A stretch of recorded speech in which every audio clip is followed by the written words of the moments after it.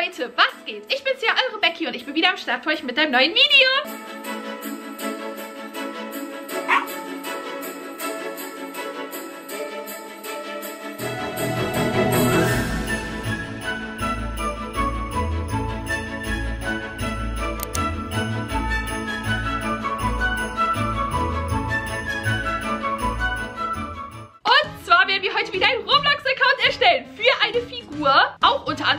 Einem Film, aber auch aus einem Buch und eine weihnachtliche und nicht nur irgendeine, sondern wir machen heute einen Roblox-Avatar für Elf und der Schelfmann. Ja, spooky ist, finde ich. Soll ich auch noch eine weitere weihnachtliche Figur machen? Dann lassen wir jetzt einen Daumen nach oben da. Bei 5000 Daumen nach oben weiß ich Bescheid. Dann wird es vielleicht auch der Grinch. Soll ich das mal machen? Und schreibt mal gerne in die Kommentare, was steht bei euch an Weihnachten an? Was habt ihr so vielleicht für Traditionen vom 24. bis zum 26.? Schreibt mir mal gerne. Oder wenn ihr kein Weihnachten feiert, was macht ihr sonst so? Und ich würde sagen, wenn ihr neu hier seid, lasst gerne ein Abo da, aktiviert die Glocke und let's go! Leute, wollen wir bei dem Elferne Chef einen Account erstellen und ich habe keine Ahnung, wann er wieder mein Geburtstag 2005 kam. Das heißt, er müsste jetzt 18 geworden sein. Oh mein Gott, er ist volljährig. Außer er hat erst am 24.12. Geburtstag. Dann wäre er noch nicht 18, dann würde er 18 werden. Aber ich weiß nicht, ob ich ihn da Geburtstag lassen haben soll, weil, ähm, ja, er soll jetzt schon 18 sein, Leute. Er soll schon Geburtstag gehabt haben. Ich würde mal sagen, er hat am 1.12. Geburtstag, oder? Weil das passt ja irgendwie, ne? Das klingt gut, glaube ich. So im Dezember hat er bestimmt Geburtstag. Männlich, aber es gibt auch Mädchenelfen. Aber wir nehmen den Standard Elf on the Shelf und äh, der Name. Ich glaube, Elf on the Shelf ist schon weg, oder? Ich probiere es mal, aber ich glaube nicht, dass wir Glück haben. Elf on the Shelf. Gibt's schon. Und man darf, glaube ich, nur einen Unterstrich nehmen. Okay. Äh, Moment, ich mach die mal weg. Haben wir schon. Verdammt. Und es gibt nur solche mit solchen ekligen Zahlen. Nee. Was ist mit The Real? Warte. The machen wir klein, dann Real groß. Oh, geht das nicht? Zu lang. Nein. Sieht ein bisschen komisch aus, aber ich glaube, wir nehmen die Variante, oder? Jetzt überlege ich mir noch eben ein Passwort und dann sehen wir uns gleich wieder. Ich werde noch Robux auffüllen. Das muss ich auch noch machen. So, Leute, jetzt kann es endlich losgehen. Ich habe jetzt Robux aufgefüllt. Wir haben jetzt aber hier einen Bacon her. Der kann ja natürlich nicht so bleiben. Jetzt überlege ich gerade, was ich als erstes mache. Mache ich erst einmal seinen Körper oder mache ich erstmal seine Klamotten? Nehme ich normale Hände? Moment, ich muss mal eben schauen, wie nochmal der Elf von der Chef genau aussieht. okay, so sieht er aus. Er hat eher Handschuhe an. Ist sehr dünn. Und für alle, die nicht wissen, wer oder was der Elf on the Shelf übrigens ist, Leute, der Elf on the Shelf ist angeblich ein Helfer vom Weihnachtsmann, der über der Weihnachtszeit dich beobachtet. Das finde ich irgendwie sehr gruselig. Der schaut ganz genau, was du machst. Und er erstattet jede Nacht Bericht beim Weihnachtsmann, ob du gut warst oder schlecht. Also böse oder artig. Und du darfst ihn nicht anfassen. Normalerweise. Ähm, ich würde sagen, wir ziehen erstmal die Klamotten hier aus. Weil dann kann man es sich nachher besser vorstellen, wenn man das anprobiert. Warte, wo sind die Sachen hin? Hier, Hose aus. Alter, überhaupt nicht weird. Baconhaare leider weg. Aber ich würde sagen, wir machen erstmal seinen Körper. Passt das besser? Ob das schmal ist, weiß ich nicht. Ich würde sagen, wir nehmen erstmal das, das könnte zu muskulös aussehen, ne? Haben wir eigentlich hier unten so einen Körper, der vielleicht besser passen könnte? Ich weiß es nicht, sonst müssen wir irgendwie einen Körper kaufen. Ich mache erstmal das so und dann versuche ich ihn einfach mal so schmal wie möglich zu machen. Und auch schon, naja, aber so groß ist er eigentlich gar nicht, ne? Aber für Elfen ist er schon relativ groß. Also, ich glaube nicht, dass er so als Riese durchs Spiel latschen sollte, aber... Kopfgröße, obwohl er hat einen schon ziemlich großen Kopf, deswegen können wir den eigentlich so lassen. Egal, ich lasse es jetzt erstmal so, aber ich gucke trotzdem nochmal bei den Körpern. Oh, ein kleiner wie süß! Er ist so süß! Alter, das könnt ihr doch tragen.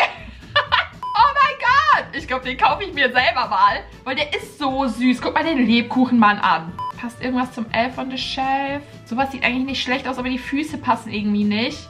Die sind doch eher gerade. Das ist eigentlich nicht schlecht. Das ist aber ein Mädchen. Gibt es auch als Junge? Das sieht schon eher nach Elf on the Shelf aus. Oh nein!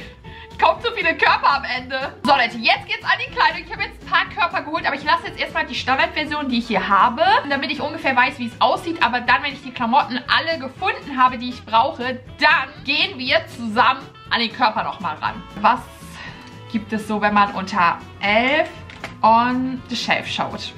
Also es wurde schon eingegeben. Oh, Leute, wir haben seinen Hut. Oh mein Gott. Das ist nice. Oh mein Gott, den kaufe ich mir. 50 Robux ist eigentlich in Ordnung. Der sieht echt schick aus. Der sieht genauso aus wie der Elf und der Shelf. What the heck? Oh mein Gott. Gruselig. Sag mir nicht, es gibt kein Shirt. Ich sehe hier lauter Hüte und Elfenohren, aber keinen Anzug. Moment. Mal gucken, was wir unter Elf und the Shelf Shirt finden. Leute, ich glaube, ich hab's gefunden. 5 Robux. Das ist geschenkt. Obwohl, das sieht auch nicht schlecht aus. Aber sein Kragen ist doch, glaube ich, schon ziemlich groß. Das gefällt mir auch. Das kommt auch sehr an das Original ran. Ich nehme einfach das auch noch mit. Mal gucken, was mir nachher besser gefällt. Äh, von Chef Pants. Mal gucken, was wir da finden. Das hole ich mir, glaube ich. Ich hoffe, das ist derselbe Rotton. Vielleicht hole ich doch lieber zwei Hosen, weil man weiß ja nie, ne? Kann sein, dass es plötzlich dunkler oder heller ist. Aber da ist noch ein bisschen schwarz dran. Das nervt mich ein bisschen. Aber egal, ich hole es jetzt einfach trotzdem mal. Und wir brauchen jetzt Haare, ne? Elf und Shelf. Mal gucken, was ich unter Haare finde. Das sieht schon mal gut aus. Das sieht gut aus. Das ist zu zerzaust. Er hat irgendwie so schöne Haare. So ein bisschen schön gegelt. äh, nee, die hängen zu sehr im Gesicht. Das ist, glaube ich, auch zu dunkel. Das ist auch zu sehr nach hinten gegelt. Oh, das wird schwer, Leute. Keiner denkt mehr an die Standardfrisuren, ne? Also, das könnte vielleicht passen. Ich kaufe es jetzt einfach mal. Ich muss nachher mit dem Outfit und mit dem Hut zusammen sehen, plus Gesicht und so. Ich nehme es aber lieber mal mit, bevor ich es nachher nicht mehr wiederfinde. Die hier könnten eigentlich auch passen. Die gefallen mir auch von der Farbe her. Okay, er hat blaue Augen, Leute. Mal gucken, was ich hier finde. Das sieht mir zu ähm, sauer aus. Da steht ja auch angry. Oh, nee, das ist zu abgespaced. Gibt es irgendwie so süße Augen? Das wird schwer, Leute. Das da passt auch nicht so ganz. Alter, das sieht jetzt richtig gruselig aus. Leute, ich habe hier ein Elf gefunden.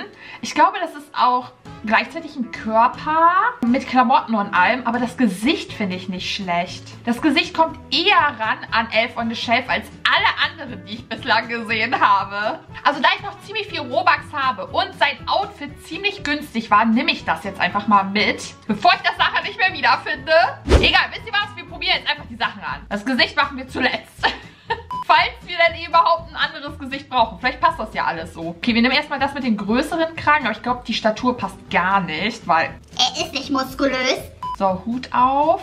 Ich glaube, das passt eher zusammen, oder? Ich glaube, das Dunklere, weil dann passt das mehr zum Hut. Ich glaube, sogar das gefällt mir eher, ne? Dann schauen wir jetzt mal nach Haaren. Da hatten wir einmal das oder das. Aber es sieht eher nach Elf von der Shelf aus. Vielleicht muss ich gleich einen anderen Hut holen, obwohl das der perfekte Hut wäre. Stört das, Leute? Schon ein bisschen eklig aus, ne? Was ist damit? Oh nee, noch schlimmer. Okay, ähm, ich glaube, das gefällt mir sogar eher als das. sieht ein bisschen ordentlich aus. Beim Elf der Chef sehen die Haare sehr ordentlich gegelt aus, okay? Also der Kopf geht gar nicht. Der Kopf geht überhaupt nicht, Leute. Äh, was haben wir denn hier? Oh nee, da sieht man ja gar nichts mehr. Also es sieht alles so seltsam aus. Ew. Körper perfekt. Aber was soll ich machen, Leute? Wie kriege ich das eine andere Farbe? Geht das überhaupt? Kann ich da überhaupt sowas anziehen oder brauche ich andere Klamotten für? Das ist jetzt irgendwie voll sad. Ähm, vielleicht brauche ich einen Frauenkörper, oder? Weil das kommt dann eher schon hin. Von der Statur her. Weil er schon sehr schmal ist. Ich hätte nicht gedacht, dass der so schwer ist. Ehrlich jetzt. Hättet ihr das gedacht? Aber das ginge eigentlich auch. Okay, dann nehmen wir das einfach von der Frau. Aber die Arme lassen wir dann so. Okay, jetzt müssen wir uns um den Kopf kümmern, weil das kann nicht so bleiben. Das könnte eigentlich passen, ne? Schlank? Nee. Schmal. Was mit schmal? Er hat eher so ein rundes Gesicht. Wir nehmen gemeißelt. Ich glaube, das sieht am besten aus. Verdammt, jetzt hat er keine Handschuhe mehr an. Ich habe es geändert, weil das war ja hier komplett weiß. Und jetzt hat er keine Handschuhe. Nein! Ich dachte, das wäre dabei. Nein! Ich glaube, ich muss noch Handschuhe kaufen. Aber sein Kopf ist einfach viel zu groß. Der muss auf jeden Fall kleiner sein. Ich müsste ihn richtig groß machen, damit er noch schmaler wirkt. Aber ich glaube, das ist ein bisschen zu übertrieben. Und Kopfgröße machen wir so klein wie möglich. Oh, ich muss einen anderen Santa-Hut holen, weil die Haare gucken noch raus. Das würde funktionieren, aber dann hätte er halt hier so einen Bommel. Der ist nicht schlecht. Der gefällt mir. Auch wenn er oben Bommel hat, aber der gefällt mir ja. Okay, mal gucken, was wir unter weißen Handschuhen finden. Ich hoffe, dass sie jetzt nicht doof aussehen. Die sind perfekt. So, Handschuhe sind angezogen. Jetzt gucke ich nochmal nach Animationspaketen. Aber ich glaube, da brauche ich gar nichts Großartiges. Das könnte vielleicht eher passen. Ich kann mir gut vorstellen, dass wenn er läuft, er eher so laufen würde. Oder vielleicht so ein bisschen geknickt. Schwierig. Nee, passt gar nicht. Mag ja auch nicht. Vielleicht kaufe ich Oldschool. Okay, auf jeden Fall nichts tun. Nehmen wir das. Gehen. Ich glaube, dann nehme ich doch lieber das hier. Laufen. Nehmen wir vielleicht das. Springen. Dann nehmen wir das. Fallen. Ja, das passt perfekt. Klettern. Dann nehmen wir auch mal lieber das.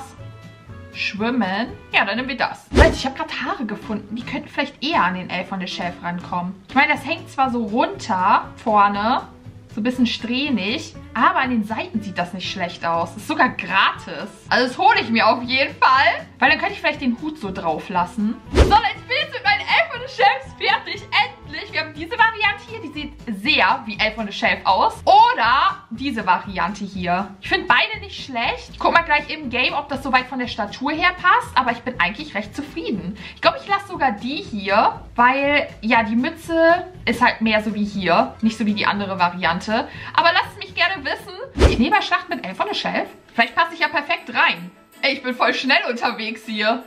Wow, wie cool. Leute, das ist mein Elf on the Shelf im Game und ich bin so happy damit. Das sieht so schön aus. Der Hut passt perfekt jetzt mit den Haaren und äh, ja, das Ding hat irgendwie jeder auf, aber wie nice ist das? Und ich wusste gar nicht, dass es ein Elf on the Shelf Game gibt. Soll ich das mit euch zusammen mal spielen? Dann lasst mal jetzt ein paar Geschenke-Emojis unten in den Kommentaren da. Ich habe gleich eine Freundschaftsanfrage bekommen. Nice. Habe ich gleich mal angenommen. Hier. Ich komme anscheinend gut an. Aber lasst mich gerne wissen, wie ihr mein Elf on the Shelf findet. Von 1 bis 10 schreibt es mir jetzt gerne in die Kommentare. Und ja, ich würde sagen, wir sehen uns in meinem nächsten Video. Ich habe euch so, so lieb.